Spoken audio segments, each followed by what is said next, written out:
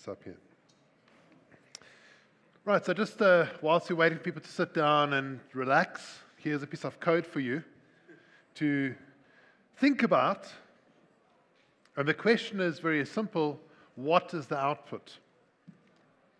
I'm doing a for each on a parallel stream. Uh, what will the output be?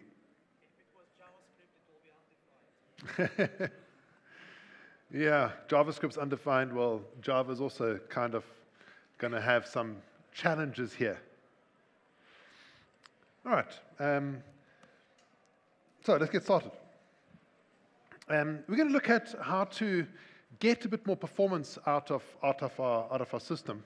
Um, up to now, we've been, we've been very fortunate because we've got so much chip level parallelism happening, instruction level parallelism, that, um, that we haven't really had to care too much about multi-threading and, multi- and, and parallelism on the software side. It's been taken care of for us on the hardware side and by the compilers. But um, as, as the hardware guys are reaching more and more their limit, we need to help a bit. And um, what we're looking at here is, is a graph. This is a, an Intel i7. It's my, my laptop. Um, uh, it's a four-core machine. And um, you can see that I've got the, the cores 0, 2, 4, and 6 are, are the real cores, but it's a hyper-threaded um, socket.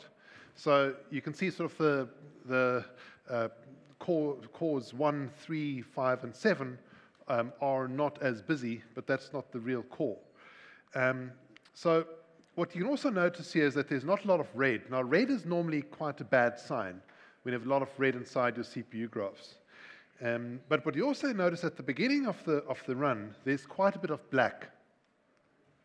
So the black is um, a problem because we're not fully utilizing the CPUs.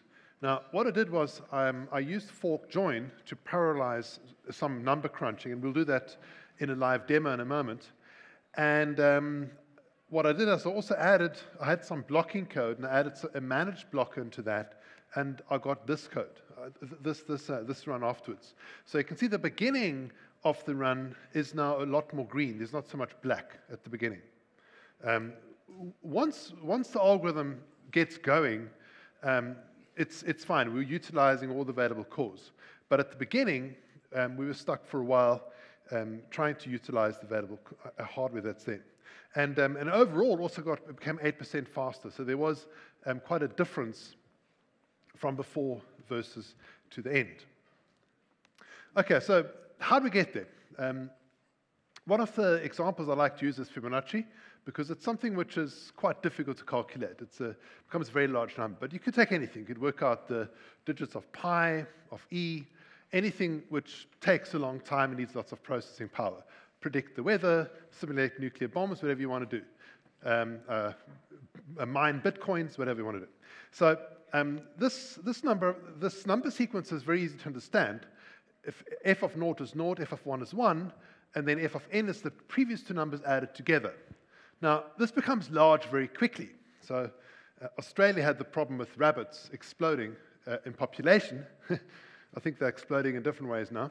But uh, they were exploding in population growth because rabbits have more rabbits, and those rabbits have more rabbits. So, so you have this exponential growth of rabbits. And so the numbers get very large. And um, you might see some people implement this as follows. You simply write the function f, if n is less or equal to 1, we return n. Otherwise, you say return f of n minus 1 plus f of n minus 2. Now, the computational time complexity of this function is actually in itself a Fibonacci series. So f of n will take as long as f of n plus 1, uh, minus 1 plus the time of f of n minus 2 added together. So it's itself Fibonacci series. And um, so it takes a very long time. Um, and um, I remember seeing, seeing this formula actually inside a Java performance book. I won't mention the name, but it was written inside the book. And they had something like, if you want to work at Fibonacci 100, and you can't, not in our lifetime, could you ever calculate Fibonacci 100 with this algorithm.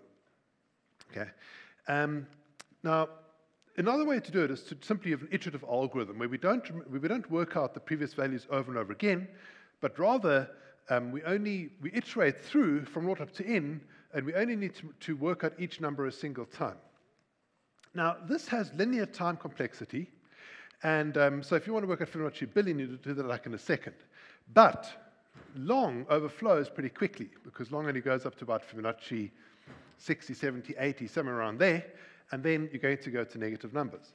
And so the answer will be fast, but it, will be, it won't be correct.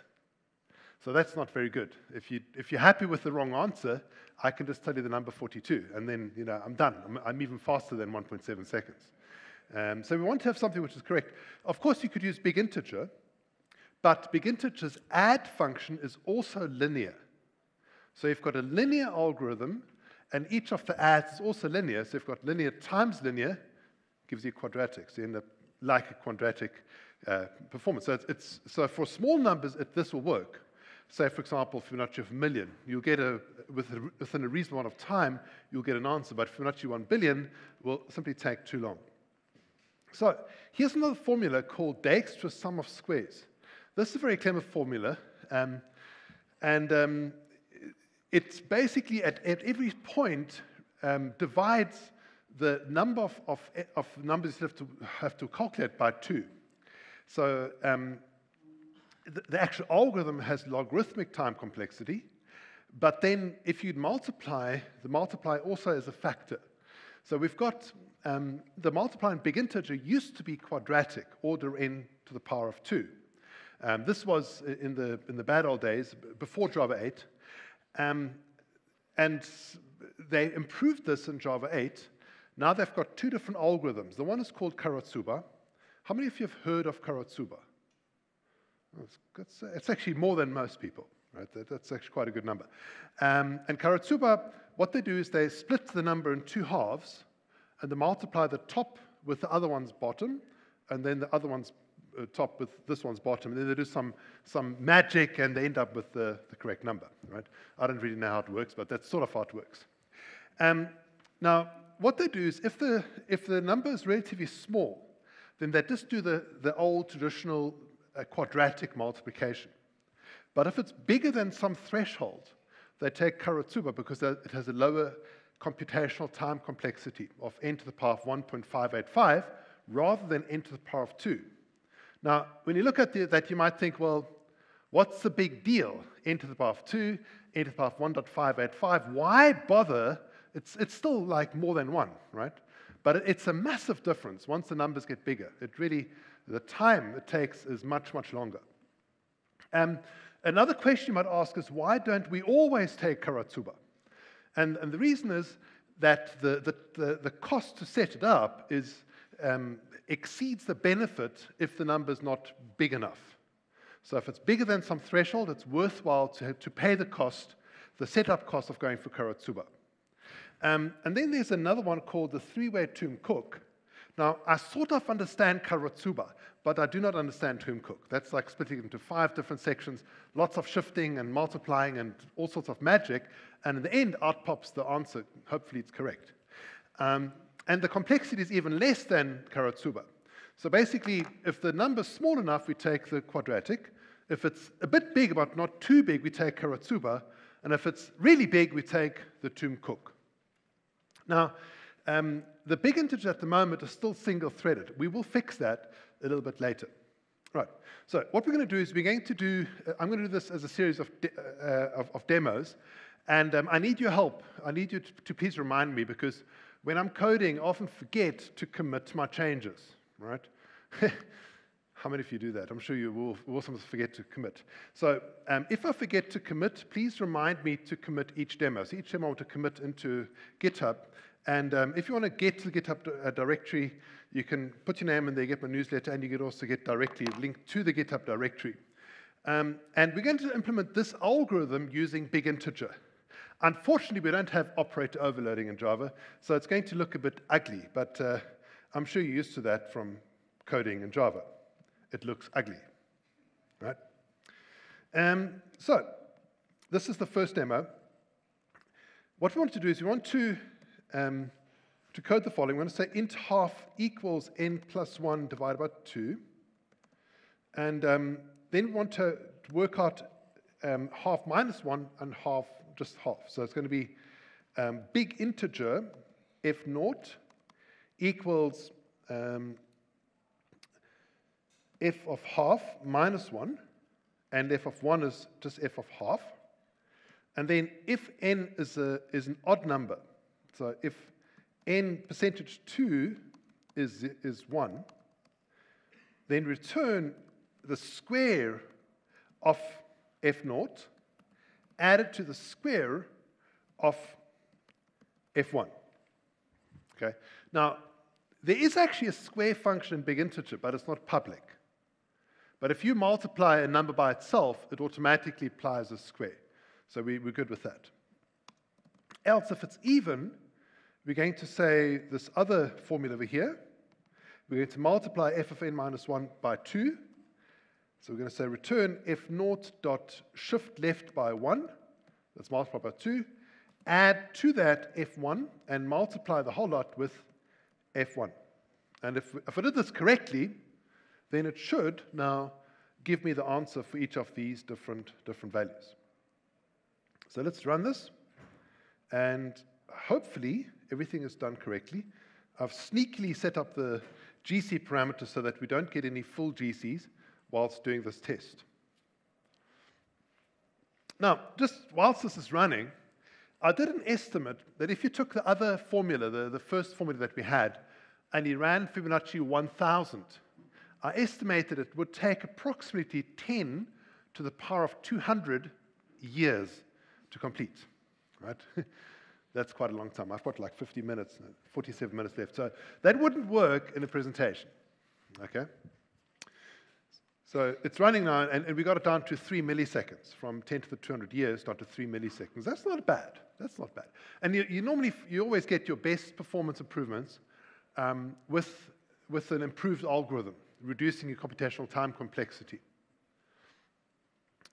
Okay, so this is not doing the 100 million. It takes a bit longer, um, but we, we do want to make this particular run faster. So we'll just see, oh, that's 51 seconds. So what we're going to do, I'm going to be very sneaky, and I'm going to stop for one moment here, and I'm going to do something which, which tends to make this whole thing faster. Okay? Seriously, I'm going to do this. I'm going to restart quickly. Come on, restart. Because otherwise we don't, we don't have a good basis to start from. So what I found with this, with this test, when you reboot your machine, especially after it's been hibernated a few times and it's flown from South Africa to here without restarting, so you, need to just restart it. And uh, once it's restarted, we'll, we'll run it, and most probably it'll actually shave off like five seconds or so just by restarting your machine, getting everything to low memory. So that, that's, of course, a little benefit. Now, let's, it's going to start up in a moment. And then we'll run the test once more. I've never done it this way. Sort of reboot just to make the test faster, but it, it does tend to, to work. Okay, so um, let's start this up again. And hopefully now it's going to beat that 50 seconds. Um, okay. Um, um, um,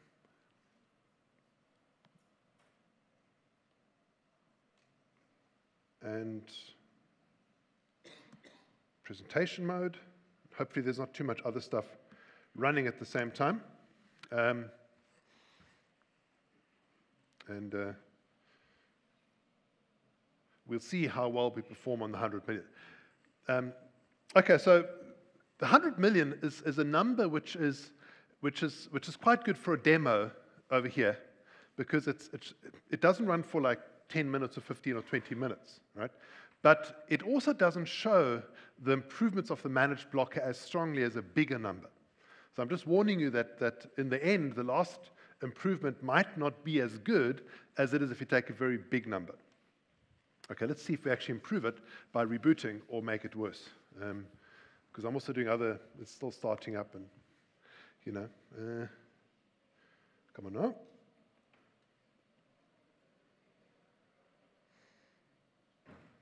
100 million. Okay, so we've improved it a bit. We've got a good basis, 47.5 seconds, and this is our demo one. So I'm going to quickly commit that. minus A, demo 1. And um, next, we're going to try uh, the following.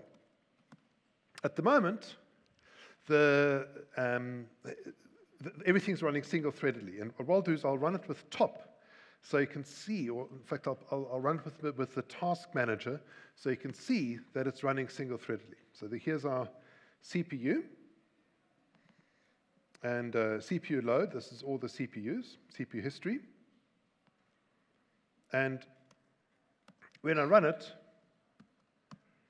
you'll see that, that it's running, um, it's really just running with, with, a single, with a single thread. It's a single threaded test. Um, so there's lots of black in the graph, not very much green.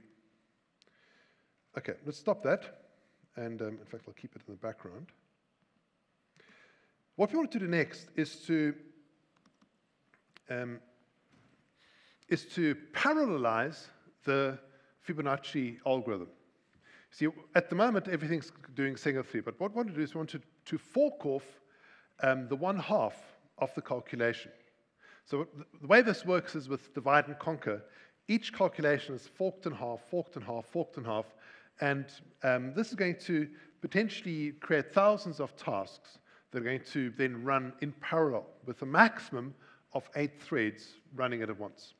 So the, the way we do it is we, we create a recursive task, um, and what the recursive task does is it, is it calls f of half minus 1, and that potentially can be run in a separate thread. It might be run with a current thread, or it might be run in a separate thread. You don't know, you don't care. So we fork that task off, and then we work out the, the other half, f of half, and then afterwards we join with the first task again. Now, at the moment, it's running at 47 seconds. So, what you can think about whilst I'm doing this is how fast would it be once I've done it, once I've parallelized it?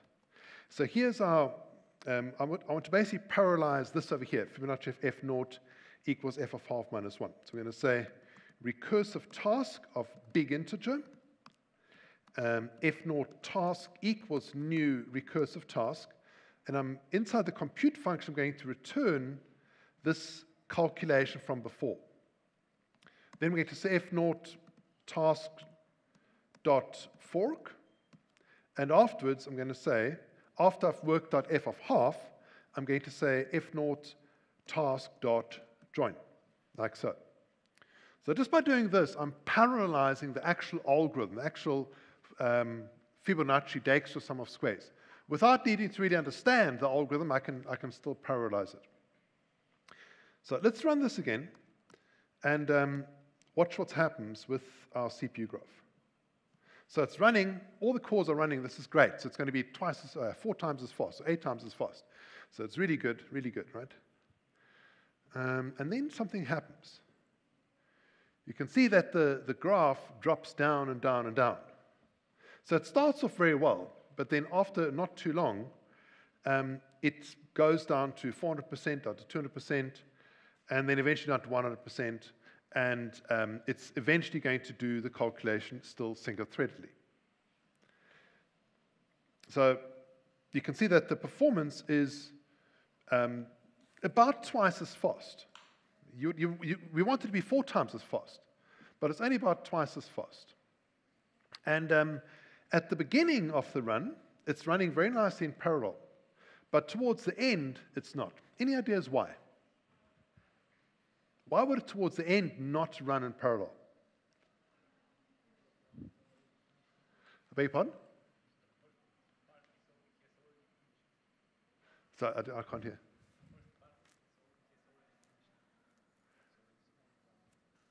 I, I, still, I still can't hear. You need to shout because I can't hear. yes. Okay, so remember that you have lots of tasks. So each of the, because we're splitting, splitting, splitting, splitting, splitting. And the effect you're getting is a very typical effect that you have when you have a, a, a recursive decomposition where you're, you, you're, you're splitting and then merging back together again. So what's happening is that the, the last few multiplications are effectively done with a single thread when you're merging it back together again. So, so we do have lots of tasks, lots and lots of tasks. But, but the final values, they, they, they have to be pushed back together. And I just want to move this, um, this result over to the other class over here. And then we're going to see demo 2. And um, that, there we go. So the final merge is where the problem is. And if you, if you run top, for example, sort by CPU, you'll see it again. So run this. Oop. There we go. And um, so top, you can see it's like hundreds of percent. But then after not too long, it goes down to 400%, and then down to 200%, and then eventually down to 100% after not too long. And if I now go and I press the, the camera button, which shows me what the threads are doing, you can actually see that there's, there's only a single thread, the main thread, which is doing anything useful. So everybody else is waiting, time waiting, waiting, waiting, waiting, waiting, except for the last one, the main thread, which is actually doing a multiplication. So it ends up being single-threadedly. So this is our second demo. Um, let me quickly uh, check that in before I forget. Commit minus a demo 2. Okay. So the, the problem that we have is that we are spending lots of time on the multiplication. But we can also parallelize that, right? And what I'm going to do is I'm going to take big integer and I'm going to copy that into my own package. In fact, I'm going to use the Java math package. I'm going to create a Java math package, copy big integer into that package, and then we're going to change that, make it parallel. Now, what I used to do in the past is that when I first started doing this demo, is I used to, I used to put big integer into my own package with my own package name. And um, I was very surprised when I noticed that when you put it into the Java math package, it runs faster. Okay, so it's faster if it's in Java math than if it's in your own package name, right? Any ideas why? Very good, intrinsics, excellent. So what we're going to do is we're going to, first of all, put it, um, we're going to copy it, we're going to change it, and then we're going to change the boot class path to point to our hacked Java math big integer. Okay, let's do that. That's our third demo. Um, and to do that, we go to big integer. Now, um, I went to talk about clean code just now. I'll teach you how to write lots of code in a very short amount of time. There's a letter, Command A, Control C, all right? Then you go to the package Control V, and you've just written like 2,000 lines of code. You get a bonus for lots of code. There we go. So um, there's a big integer. And just to make sure that this actually is using the correct big integer, I'm going to print out something when the class is loaded. So I'm going to say here, using hacked big integer. Okay? Now, at the moment when I run it, it won't use that. So you won't see using hacked big integer. It doesn't, doesn't say that.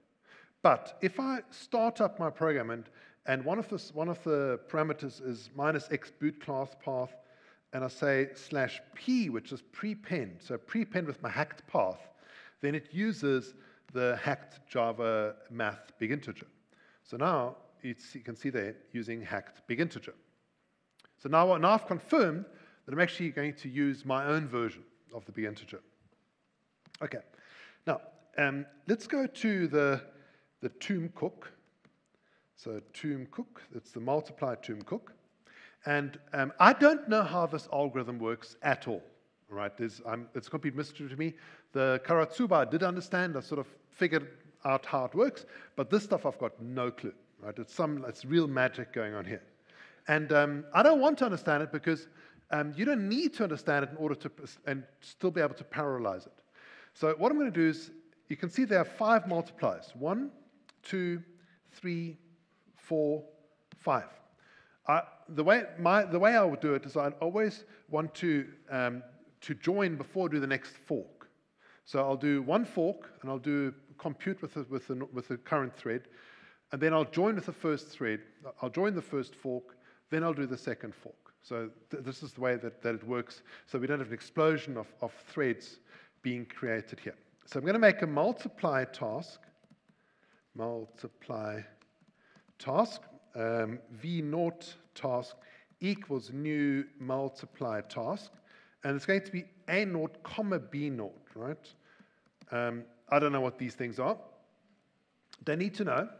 I'm making an inner class, and this is going to be big integer A and big integer B, and then um, this is going to be extends recursive task of big integer, like that. We'll just put those into fields, A and B. And then in the compute function, we just return A dot multiply with the B. Okay, very simple. Then we go to, we also write something very similar called a square task, because we, need, we will need that as well, with only a, an A, not a B. And um, then here we can simply say A dot square, like that. Okay? So two different recursive tasks, one for multiply and one for square. Let's go back to where we were. Um, after creating the v naught task, I'm going to say v naught task dot fork. I want to point out I don't know how this algorithm works at all. Maybe one of you does, but I don't. So, um, and then before we do v1, we're going to say v naught equals um, v naught task dot join. All right, um, we're going to do the same thing for v1. And if I make a mistake, please help me. Um, it's easy to make mistakes on these things if you don't pay too much attention. DA1, comma DB1. Uh, that's V1 task, not V2. Uh, then V1 task dot fork. And this I'm going to do the other two multipliers, and afterwards I'm going to say V1 equals V1 task dot join. So I've got the V1 and the V naught as separate tasks, multiplied tasks, recursive tasks. Now, the cool thing here is that um, because I'm just making a recursive task and forking it, it's actually going to be done with a common fork join pool. I don't have to specify which pool to use. You can also specify which pool to use, but in this case, it's just going to use a common one. Let's look at, let's do the same thing for the square Toom Cook. And I'm not doing Karatsuba because um, I'm looking for the big numbers. Um, it, it, doesn't make sense to parallelize anything that's too small. You want to take, only do the big work like that. So here's square Toom Cook. It's the same principle. Um, it's going to be a square task. V naught task equals new square task of A naught. Um, v naught task dot fork. And then before I do the third square, I'm going to say V naught equals V naught task dot join. The same thing for V1. Task equals new square task of DA1. And uh, V1 task dot fork. And then last, it's going to be V1 equals uh, V1 task dot join, like so. Now, if everything goes correctly, we should improve our performance. It should be faster. Okay. Okay. Let's see. And um, I'm going to run top at the same time. We have top running here. And top is showing us that our processes are actually uh, quite busy, right? I only really have four cores, so um, I'm, I'm, and it also was a bit faster, I think. I think competed faster as well. So our performance now for the 100 million was 12.8 seconds, which is a definite improvement over what we had in the previous run. That's our demo, our demo three. Now, um, any, any questions? No questions? You need to shout. Uh, yes?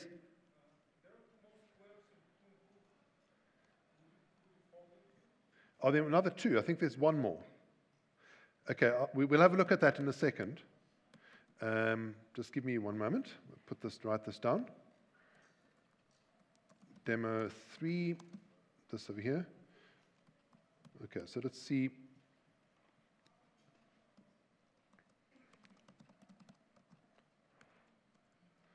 I'm in the right place. Um, oh, I think I might have gone to the wrong one. Um, this one. Uh, square. Okay, you said there were two more squares. There's one square here, V naught task, which we're forking. One, two squares, three squares, four squares, five squares. Where do you see another two? I might have missed it. I think there are only five. Um, now, obviously, if it's five, it's not an even number, so you, are not going to be able to, to do the, the perfect divide and conquer, right? But it's going to be, it's pretty close, and, and, and we're getting quite good performance. And we're keeping our CPUs busy. Now, what I want to do is I want to, um, to, to run this once more. I, I will check it in a moment, but before I do that, I want to, to print out how long each of the different multipliers actually takes. So let's put a try finally around that. And um, we're going to do this. We're going to say long time if n is bigger than 1,000. So we're only going to look at bigger numbers. Or let's make it 10,000 because 1,000 is also very fast. Um, then I'm going to say um, system.current time millis. Otherwise, I'm going to just set it to zero. So what I want to do is I want to, to measure how long this takes, but I'm going to look at numbers that are bigger than a certain number. So um, this would be minus time, otherwise to zero. And if time is bigger than, say, for example, 30 milliseconds, then print out, we're going to print out um, um, f of whatever it is, took percentage d percentage n for new line, and it's going to be n comma the time. So we can print out how long each of them actually took. So let's run that and see if you notice anything. As the numbers fly past, see if you spot anything.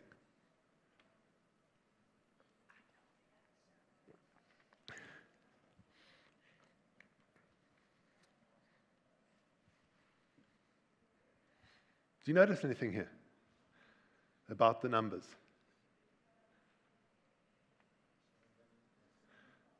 Yeah, exactly. So some of them are duplicates. This one is worked out like three times. And um, so some of them get worked out many times, not just once. There's lots of duplication. So um, before I show you the explanation for that, I want to, I want to commit this because this is now demo three. Okay? So um, I was sitting in the plane early on trying to figure out how to, how to show this, how to visualize this for you. So I started with Fibonacci 1 million, and I started drawing a graph of what, what other Fibonacci numbers you need to calculate to calculate Fibonacci of 1 million. Not 1 billion, 1 million.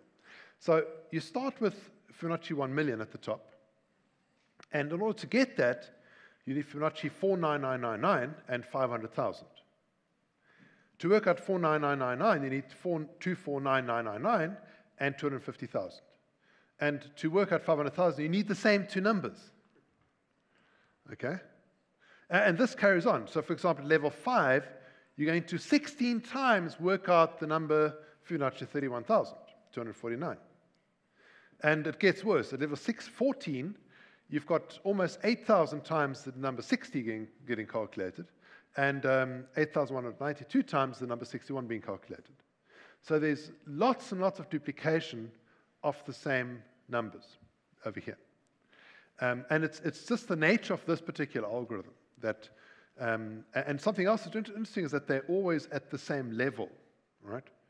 So, um, and we'll see that effect um, happening in the, in the demo after the next one. So this next demo is to cache the results. So instead of doing the, the same numbers over and over again, we just, we just put them into cache. We don't have to work them out um, if it's there ready. Now, we have to be careful with caches. Yes, Alexi?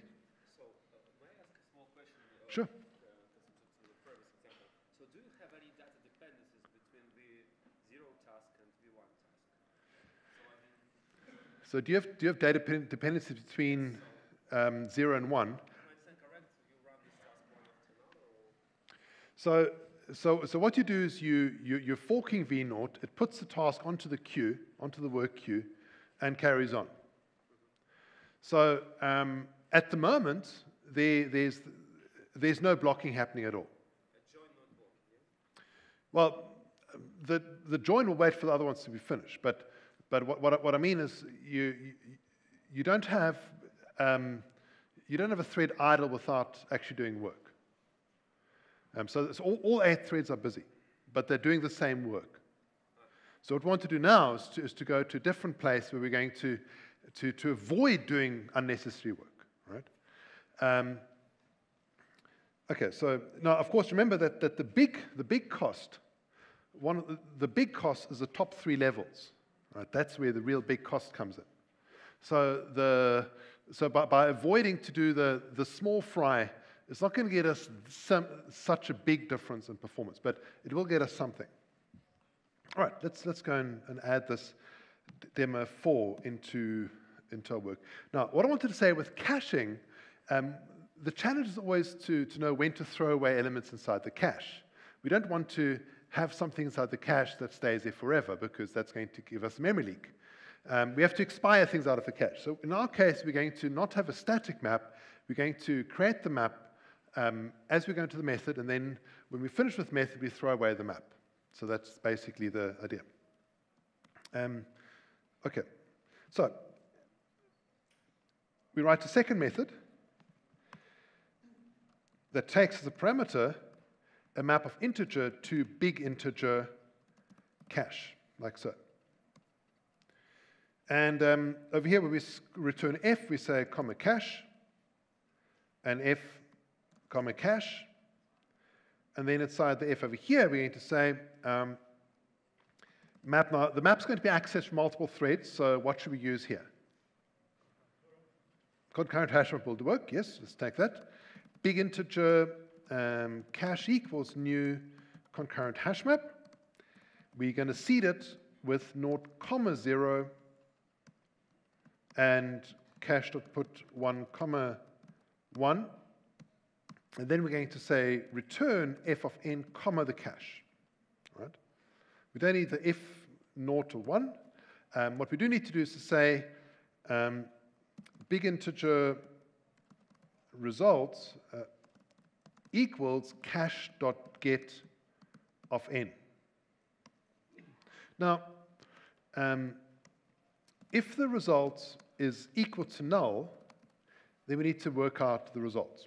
So we're going to uh, do the following. We're going to do this whole calculation, and we're going to say inside the if result equals and result equals, and then we're going to say cache dot put in comma your result, and finally we're going to say return the results.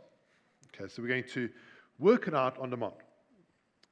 Now there's a function that, that actually does that for you. Anybody know, what that's called? No, I was lying. There's no such function. Uh, you're thinking of the right method, but that's a trick question because you, inside a computer, uh, inside computer absent, you're not allowed to change the structure of the map. If you do that, you end up with an infinite loop inside concurrent hash map. It's a very nasty little feature that they've added, right? And, um, and they don't actually document it, at least not in Java 8. In Java 9, they actually tell you that they're going to throw an exception if you do that. But um, it's, it's, it's a very nasty little, little thing that's caught me out. And if you think about it, it, it is kind of obvious because to try and, and keep everything thread safe um, with recursive updates would be extremely difficult. But uh, they don't actually say that they're not going to do it. They just, ah, okay, we'll just give you an infinite loop. Um, so we need to do it this way. computeIfAbsent won't work. So let's run this again and see if this has improved the situation a bit. Okay, so let's see how long it takes to do 100 million with demo 4. And we have improved it a bit. We've gone down to 10 seconds, 10.121 seconds. So that's definitely an improvement. Um, not as much as I was hoping, but it is an improvement. And, and the reason why it's not so much is because, first of all, um, the big ones that are the last few calculations where we're doing these big multipliers. That's where we're spending most of the time. Secondly, um, we still have lots of duplication. Look at this. There, this gets calculated four times. Okay? And it's the nature of this particular algorithm. Um, let's go back to that slide that I showed you, this one over here. um, the, the numbers we're calculating are at the same level. So there's a good chance of multiple threads trying to work out the same thing at the same time. All right, so this is our demo four. And let's commit that before we get too happy. Um, demo four. And so the next, uh, next approach I've got is to, instead of putting a big integer, uh, instead of, instead of just getting and then starting calculation, I, I do something called a reserved um, caching scheme where when I want to calculate it, I, I put a special type of big integer into the map. It's just a placeholder object. It's like a reservation saying, I want to calculate this thing. Um, and, and, and, and so I don't, I don't say get, I say put if absent on, with, with our special object. If the object, if, if already a result is inside there, calculated results, I'm going to get that result back from put if absent. If I get back null, that means that I was the first person to actually call that successfully. That means I can start the calculation immediately. If I get back that special reserved object, that means that somebody else is working on it. I must wait for them to finish before I continue. So uh, let's do that. Let's add this reserved caching scheme. Um, so I'm going to make a special, a special big integer over here.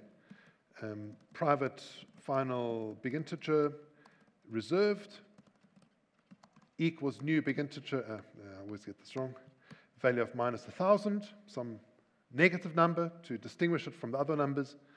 And um, what I now do is, instead of saying get, I say put, if absent, in comma reserved. And then um, if result is null, okay, I'll, I'll finish that in a moment.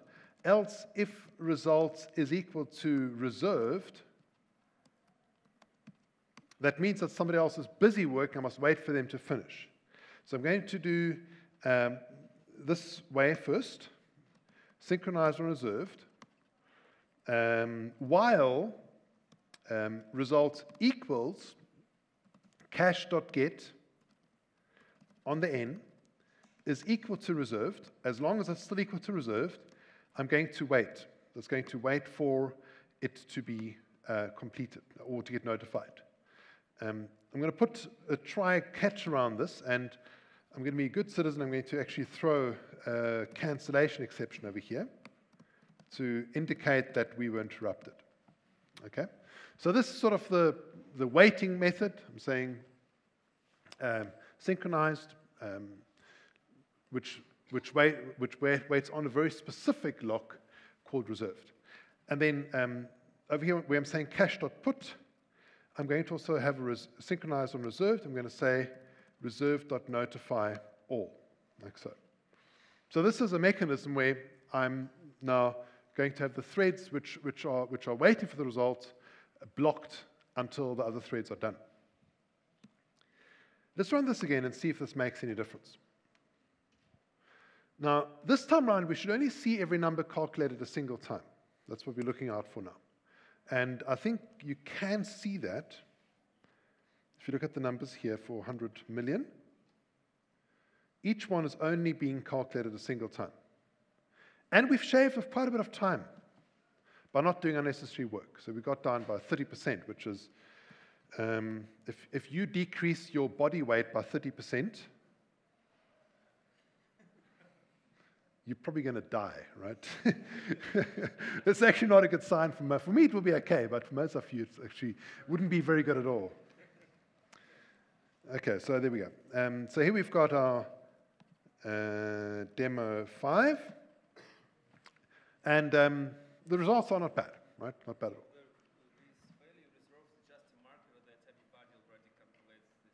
Yes, so it's, it's like saying, I'm putting up my hand, I want to calculate this thing. It's actually, it's actually a bit like what we would want to do with computeIfAbsent. Computer if absent should be doing this for us, right? But it doesn't work with recursive updates within the map. So we need to do it ourselves. Actually, there's another problem with computeIfAbsent, and that is that if you have relatively few values inside, relatively few keys inside your map, and you use computeIfAbsent, you have the most terrible contention you can imagine it becomes very, very slow. So be careful of that. Um, okay, so let's check that in quickly. Demo 5. Okay, now, the, the problem that we have at this, with this particular run is at the beginning of the run, you'll notice that um, there are going to be quite a few. I need to just do this again because I need, this needs some uh, very quick fingers. Okay, so click start, start, and quick do this, and quick do that again, and, and wait for a bit, and click again. Okay, so what we're going to look at now is three different thread dumps. At the beginning of the run, you notice that I've got thread 7 is runnable, thread 6 is waiting for somebody else to do the work. Um, then 5 is waiting, 4 is waiting, 3 is waiting, 2 is waiting, 1 is waiting, and main is working. So two threads are actually doing calculations. And the other threads are all waiting for others to do their, their bit first before they can continue. And, and with this algorithm, you have it at the beginning of the run, you have this black patch where, um, sort of showed you at the beginning of, of my talk, at the beginning, there's a period um, where quite a few threads are blocked waiting for other threads. Once, once the whole system gets started up, once we've calculated a few numbers, that passes. But in the beginning, we have this black period. Um, fortunately, with this 400 million, it's, it's, the, the, total time isn't that long. That's quite a long run. I think that's 1 billion. But 100 million is, is not that long. So the black period isn't that long, but it is there. And you can see it if you look at the thread dumps at the beginning, the threads are not active. They are sitting idle, waiting for others. And that's, of course, always a problem when you're blocking. So the next demo improves that. What we want to do with the next demo is we want to um, we want to, to help the fork join pool along a bit. And there's this interface called ManagedBlocker, which basically allows you to, to implement um, the sort of a, a conditional method, um, the condition predicate and, um, and the blocking part um, in such a way that the fork join pool can work with it, can actually say, well, we're going to block, but what we're going to do instead, we're actually going to um, create another thread to, to take over from that blocked thread. And there, there, are two classes that use it already. The one is called phaser, other one's called completable future. So, um, and, and it's used to keep the parallelism high even if you, even if you end up blocking. So let me show you how to do this. Uh, this code here where I'm blocking, we're going to extract that and we're going to put that into a separate class. We're going to have here a a new class, private class, um, it's called a Fibonacci blocker, implements the managed blocker inside the fork join pool class. And we've got two methods, block and is releasable. Is releasable is basically your condition predicate. So it's going to be something like um, return results equals cache.get of n um, and if that is not equal to result, to, to reserved, then we know that there's no point in locking. You don't need to lock. It's releasable. So, um, and, and the result is going to be your big integer. It's basically going to be um, this over here. Let me just copy that down. Copy and paste um, int n and this. Okay, almost done. Let's mark these as private. And let's make these final as well. And we're going to need a constructor for this. Okay, so we've got a Fibonacci blocker with, with int n, the cache, and the result, which we're going to use to send the result back. Um, and this is, this is basically going to be my, my, uh, my blocking, my condition predicate, whether or not I can release it.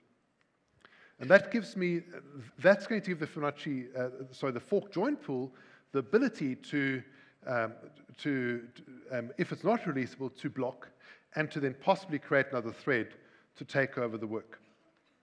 Okay, so the, the block itself is going to be this code over here, basically.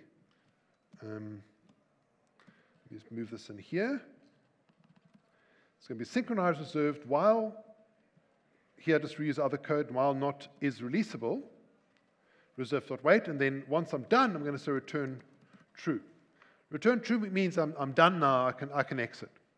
Um, okay, so um, the way I'd use it is inside here, inside, inside my if result equals reserved, I would say uh, Fibonacci blocker equals new Fibonacci blocker with n and the cache. I'd then say blocker dot, uh, I'd then say uh, fork join pool dot manage block blocker. That's the key. If I just said blocker dot block, then it's going to do exactly the same code as before. And in fact, when I call fork join pool dot manage block, it's going to, to also uh, figure out whether it's running inside a fork join uh, uh, pool thread. And if it is, it, it, it communicates with a fork join pool. If it's, if it's not a fork join pool thread, it just does what we did before, just does a normal block. And um, now we're going to say um, result equals blocker dot results, like so. So um, we got quite good results before, seven seconds, and there's a possibility that maybe my result will be worse. Okay, I'm just warning you because this is a demo. But my sneaky trick of rebooting my machine normally means that it's going to be a bit faster, but we'll see. We'll see. Um, you can see it more strongly with a bigger number. And it is slightly faster, okay, which is great. Not enough to, to really get too excited about, but it is faster. Um, sorry? Um, okay, so you want st- the static in a class. I do need, I do actually need some variables, don't I? Or don't I? Do I need? Okay, let's try that static in a class. Yeah, I need the reserved. I can make reserved static as well. So a lot of people worry about the reserve being a bottleneck. Um, you would pick it up as a bottleneck if you find threads on the blocked state. Then that's a bottleneck, but most, most likely it won't be. So what I've done now to make uh, to satisfy our curiosity, I've made the inner class static and I've made the, the fields, the, the, the big field static as well. Let's run this again and see if it makes a difference.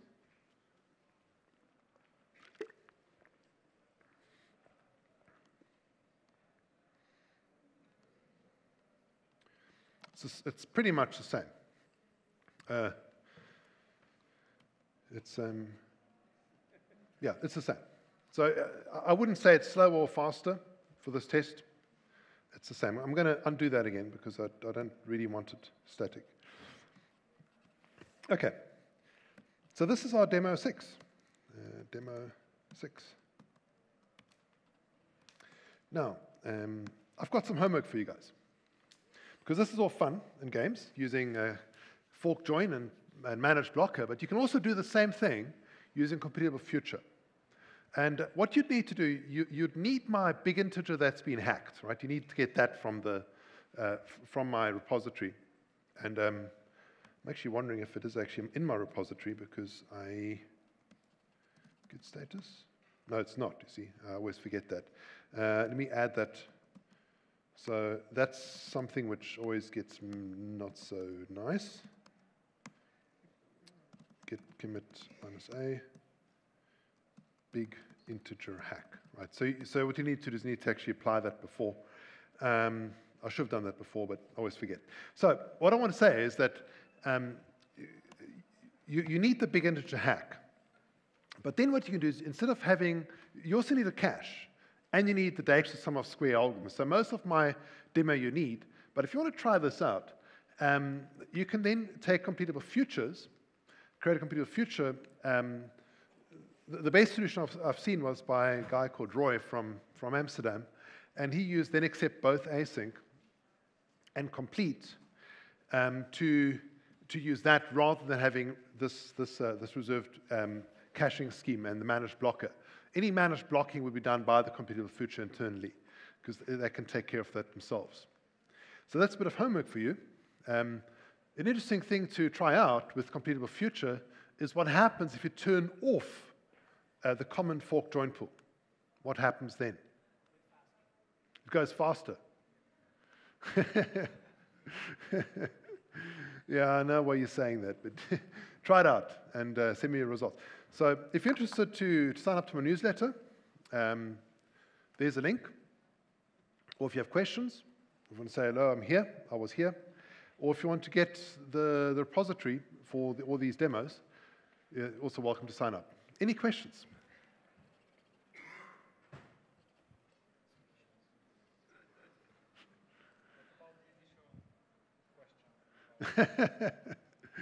okay, besides the, besides the print line, any other questions? Because you can try that out, run it and see what it does. Any other questions about fork join or managed blocker?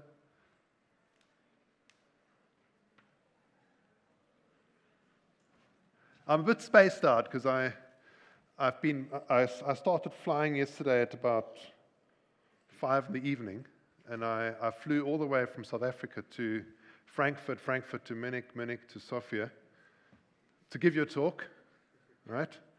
And after this, I'm going to go on the plane fly to Athens and then home, so to Crete. So if I'm a bit uh, spaced out, that explains why.